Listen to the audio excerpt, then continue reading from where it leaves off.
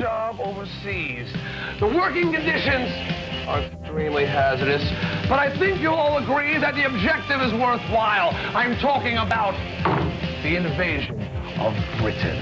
If you've got the guts, MTV's got the contest. We need one volunteer and one buddy from each state to dress up like Dee Snider.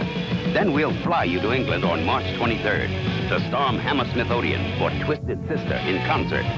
Party with the band at the Limelight Club and overthrow the City of London.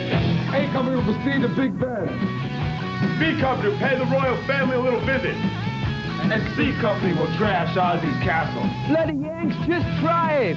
You, stand up. You call yourself a twisted commando? You're a disgrace! What do you call that? I got a good mind to slap your crew cut. You are destroying your life with that hairdo!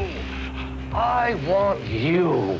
To enlist, send a postcard to MTV Twisted Invasion. Post Office Box 1280, Radio City Station, New York, New York, 10101. Be all that you can be.